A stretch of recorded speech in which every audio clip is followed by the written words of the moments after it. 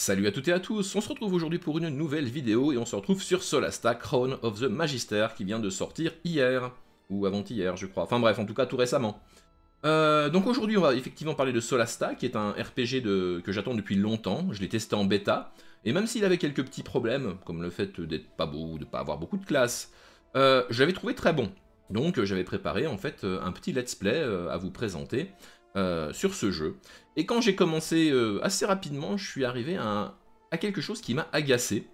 Donc euh, avant de, nous lancer dans les aventures épiques et le sauvetage du monde, on va commencer par faire un petit point sur le jeu vidéo et les problèmes sociétaux modernes dans l'Heroic Fantasy.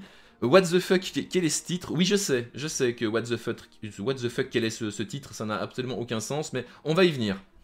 Bref, euh, il y a une mouvance en ce moment, un choix que font certains éditeurs de faire euh, rentrer dans leur jeu des concepts hors sujet, ouvertement militants, soit pour flatter une partie des acheteurs potentiels, mais vu leur nombre réel, j'en doute un petit peu, hein, euh, soit pour euh, s'afficher en tant que studio ou entreprise progressive et vertueuse, et plutôt faire progresser leur image de marque. C'est-à-dire qu'on va, rajouter dans le jeu en fait des choses pour pousser sa propre réputation en tant qu'entreprise, voire carrément promouvoir des idées sociétales ou politiques, et ça, c'est un problème, parce que euh, ça veut dire qu'on inclut dans un jeu des éléments méta, en fait, qui sont censés parler aux joueurs sur quelque chose qui se passe hors du jeu, et euh, parfois c'est complètement hors sujet, et bah c'est le cas ici, c'est complètement hors sujet. C'est fucking hors, sujet en vérité. Et donc je vais vous montrer ça.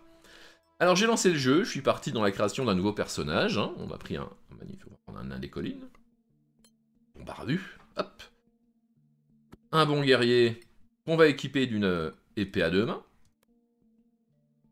Voilà, on fait son petit perso. C'est un... c'est un quoi? C'est un justicier. Violent et cupide. Mais même également violent.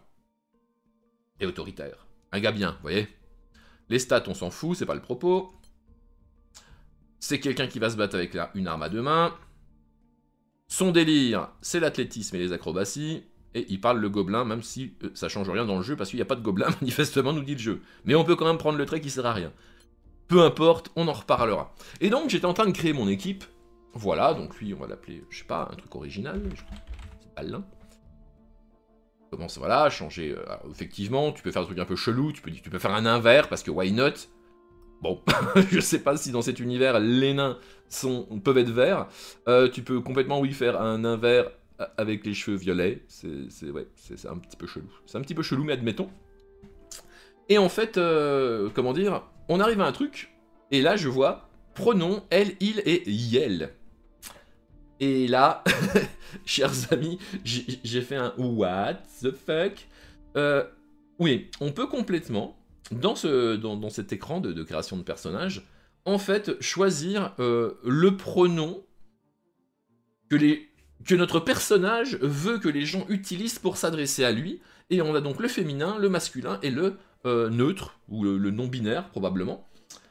Euh, et je rappelle qu'on est dans un univers d'heroic fantasy, hein. c'est-à-dire on est dans un jeu où 90% des PNJ que tu vas croiser vont essayer de te tuer, et je suis pas certain que le pire qu'on puisse faire à ce cher euh, personnage, c'est de l'appeler monsieur. mais bref, alors, donc là, pour moi, ça m'a posé un certain problème. Jack, je trouve la démarche, la démarche elle est malsaine, parce qu'on vous vend, c'est un truc, enfin ce qu'on vous vend, hein, techniquement, quand vous achetez euh, Solasta euh, Crown of the Magister, c'est une aventure d'Heroic Fantasy, et euh, vous vous retrouvez avec un jeu dont certains éléments vont vous parler du monde réel en 2021, au mépris de son, comment de son propre univers, déjà, et bah, un peu de la déontologie, qui voudrait que si votre jeu est ouvertement militant, ce soit bien que ce soit écrit, écrit quelque part, quoi. Alors pourquoi je dis euh, au mépris de son propre univers? Bah c'est simple, et puis j'ai quelques exemples. Hein. Quand on écrit un bouquin, un scénario de jeu de rôle ou un livre, euh, enfin quand on écrit un livre, un scénario de jeu de rôle ou un, RPG, l'histoire d'un RPG c'est pareil, hein. les éléments que tu ajoutes, a priori c'est censé avoir une justification, sinon tu les mets pas dans ton jeu. Ou dans ton œuvre de façon, euh, de façon générale. Soit ça fait avancer quelque chose dans l'histoire, soit ça a un rapport avec les thèmes que tu vas aborder dans ton œuvre. Prenez par exemple Cyberpunk.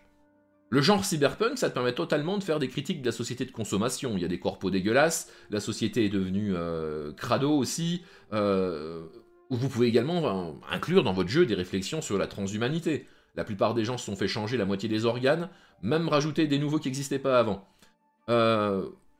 Euh, why not? Vous voulez parler de sexualité, de sensualité, de, trucs moral ou immoral, vous pouvez vous placer, je sais pas, dans l'univers genre de Vampire la Mascarade, pour ceux qui connaissent. J'avais fait une petite vidéo sur un jeu qui tournait autour de... comment euh, De cet univers qui s'appelait Coterie of New York. Mais là, vous faites quoi? Vous rajoutez des pronoms et la non-binarité dans un jeu d'heroic fantasy? C'est pourquoi faire? C'est un de vos thèmes? À un moment, on va en parler dans le jeu que, que ce brave nain, il est non-binaire ou pas du tout? Euh, Comment dire? C'est quoi les thèmes de l'heroic fantasy? L'épique, l'héroïsme, la magie, l'aventure, le courage, le sacrifice. Euh, l'amour parfois, mais on est toujours dans le cadre du romantisme. On va se rappeler d'un Aragorn et d'une Arwen, par exemple. Hein. Euh, le thème du jeu Solasta, la couronne des magistères, c'est un mal ancien qui se réveille dans les Badlands et des courageux aventuriers qui doivent l'arrêter. À, quel moment on parle de, genre ressenti?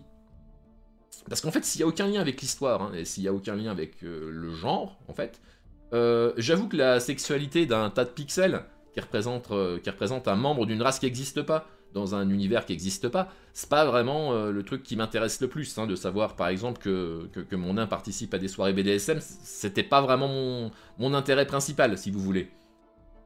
alors certains qui vont me dire, oui mais Tibbs c'est peut-être pour que les non-binaires ou les gens effectivement qui vont s'attribuer des pronoms qui ne sont pas en rapport avec, comment dire, leur, leur physique. Encore une fois, je vais prendre des gants parce que je vais me faire fumer dans cette vidéo de façon, donc je sais pas comment vraiment le dire, mais bref. Donc, est-ce que c'est pour que les personnes euh, non-binaires puissent s'identifier à leur personnage, du coup? Bah, et objection Le jeu de rôle, a priori, c'est pas fait pour vous incarner vous-même, hein. En fait, c'est même une des dérives les plus dangereuses du jeu de rôle, le fait de euh, s'incarner soi-même. Parce que ça rend flou la frontière entre le joueur et le personnage. Et du coup, tu peux te retrouver en... Voilà, euh, sans aller juste dans la caricature, hein, mais les gens qui se prennent pour leur personnage, parfois ça finit mal. C'est pas l'idée. Hein. Euh, seconde objection, vous pouvez vous identifier qu'un personnage qui a le même physique que vous, le même genre que vous. Euh, c'est pas ouf, hein c'est un petit peu communautariste tout ça. Et troisième objection finale, ok, vous voulez incarner un personnage exactement comme vous, avec votre genre ou votre non-genre, pour le coup, ça dépend. Est-ce qu'il fallait qu'on rajoute cette case pour ça? Non mais, est-ce qu'il fallait qu'on rajoute une case pour que les cinq royaumes soient tout à coup magiquement au courant que votre perso est non-binaire? Parce que déjà, c'est pas, pas cohérent avec l'univers, mais c'est même pas réaliste. Dans le genre où vous êtes quatre glandus parfaitement inconnus au début de l'aventure, hein. personne vous connaît. D'où tous les PNJ qui vont euh, te croiser vont commencer à l'appeler Liel, enfin à le désigner en tant que Liel. Et puis personnellement, je vois un nain vert avec euh, une barbe violette euh, extrêmement vénère avec une hache à deux mains, le premier truc que je tente en le voyant, c'est pas de, comment dire, euh, de l'appeler euh, madame ou de le désigner par Liel. Hein, c'est peut-être pas le premier truc qui me viendra à l'esprit. ensuite, voyez là, histoire supplémentaire. Mettez votre backstory ici. En fait, il y avait un onglet ici où vous pouviez en fait déjà écrire, voilà, Balin est un nain.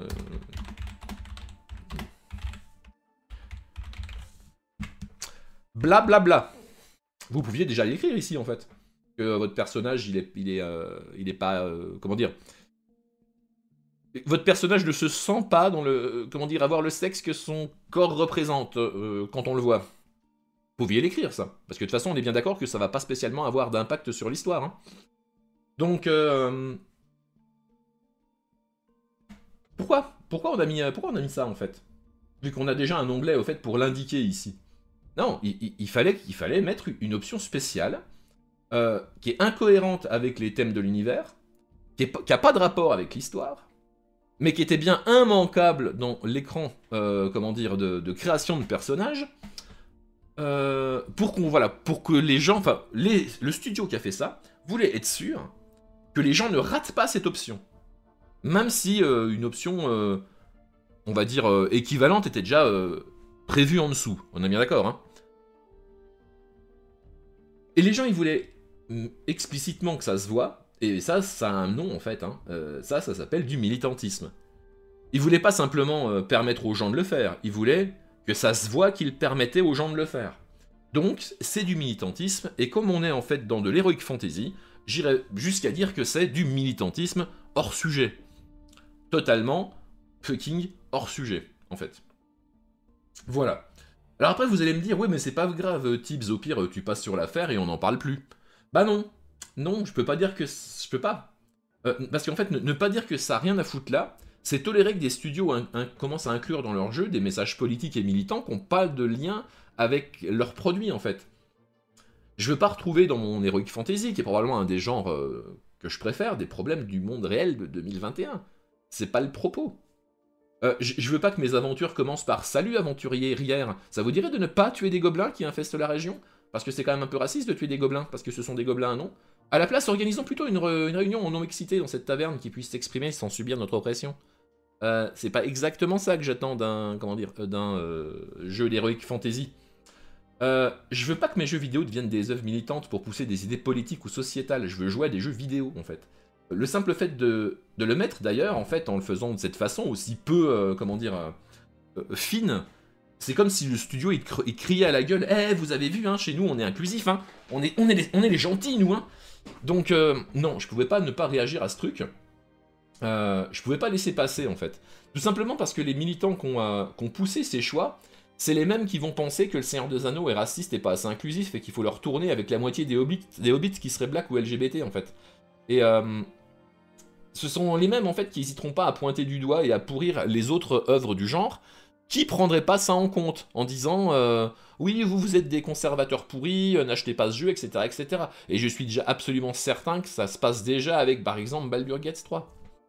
Donc voilà, je pouvais pas rester sans sans, réagir, euh, d'autant plus que je parle un petit peu d'expérience, m'étant fait jeter d'un cerf de, JDR devenu, entre parenthèses, inclusif, euh, et lourdement insulté d'affreux fascistes au passage, parce que je disais exactement la même chose que dans cette vidéo, c'est-à-dire que ces problématiques n'ont rien à foutre dans euh, l'héroïque fantasy, surtout quand ton histoire n'en parle absolument pas, quoi. Enfin bref, voilà, même si ça part d'un bon sentiment, d'ailleurs je pense que pas mal d'entre vous de base auraient peut-être trouvé cette idée tout à fait euh, acceptable, on va dire, ben, ça reste hors sujet en fait. Hein. Ça reste hors sujet par rapport à, au jeu qu'on nous présente et ça reste une dérive euh, euh, militante à l'intérieur d'un jeu. voilà, donc que les gens puissent trouver ça normal, je comprends, même si j'approuve pas, d'accord?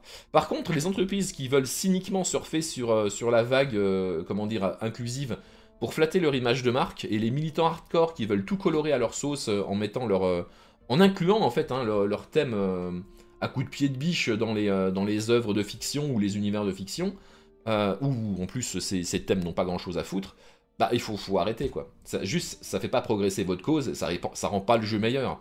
C'est juste une connerie quoi. Donc voilà, on a fait le tour de ce que je voulais dire vite fait sur, ce passage-là. Euh, si vous voulez réagir par rapport à ça dans les commentaires, n'hésitez pas, il hein, n'y a aucun souci, on peut discuter de tout avec moi du moment que ça se fait dans le respect. Euh, puis on, se dit bientôt pour euh, une autre aventure. Peut-être quand même sur ce jeu, même si je vous cache pas qu'a priori mes personnages n'auront pas de problème de sexualité ou de genre. Hein, je pense qu'ils vont être... on va d'ailleurs absolument pas parler de leur sexualité. Parce que moi ce qui va me faire délirer c'est de péter des gueules à des nécromanciens et à des orques, et puis à sauver le monde. Voilà. C'est pas, euh, pas combattre pour euh, l'inclusivité des minorités chez les, nains euh, des montagnes, par exemple. Voilà, voilà. Allez, à très bientôt les gens